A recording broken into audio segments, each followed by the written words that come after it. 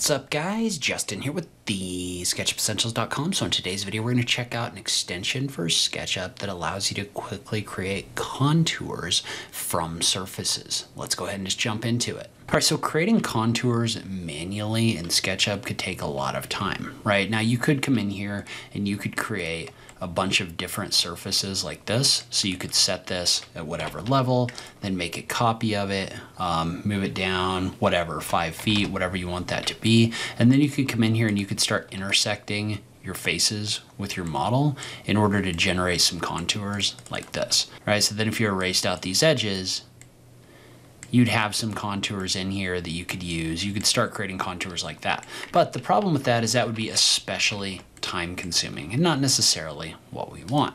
So what we want to do instead is we want to use an extension in order to do this. So in this case, we're checking out a free extension from TIG specifically designed to create these horizontal slices. It's called Contour Maker. You can download it from the Sketchucation plugin store. I will link to that in the notes down below. It's really simple to use. Basically, the way that it works is you just take a surface, um, so whatever that surface might be, you go into extensions and you click on contours.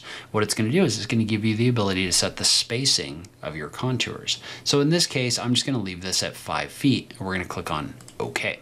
And so if you look at this, what this does is this goes through and it generates a contour every five feet in elevation on this surface. Now you might be wondering where the starting point of that is. And so um, the starting point is just placed wherever your axes are. So notice if I was to look at this, right, it's created this first contour here, and then it's created the up and down contours five feet from that location. So let's say that you wanted your contours to start on the bottom. So you could find the lowest point in here and align that with your surface, and then you could run Contour Maker again. So if I come in here and I do contours now, and let's say, and we're gonna say okay, notice how it's going to start by placing this first contour at whatever your zero level is. So basically the level of where the axes intersect, like this. So you can use that to kind of customize where those contours go on your surface.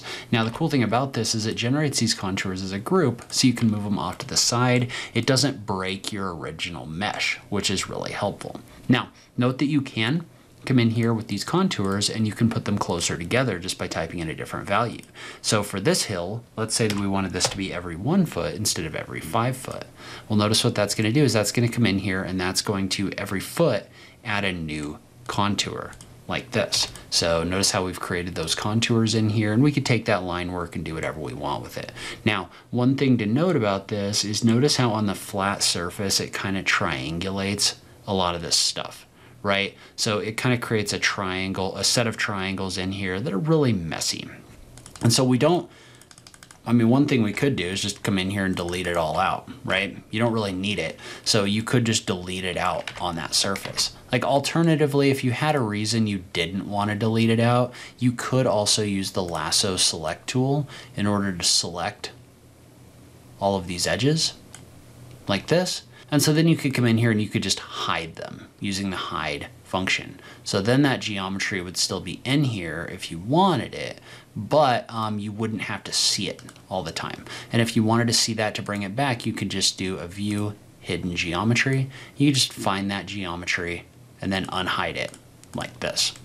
All right, so quick video today, but this is a very helpful tool um, in a very specific circumstance. I'm gonna link to my video on the ultimate guide using sandbox tools to create terrains inside of SketchUp if you want more information on this topic. As always, thank you so much for taking the time to watch this, and I'll catch you in the next video. Thanks, guys.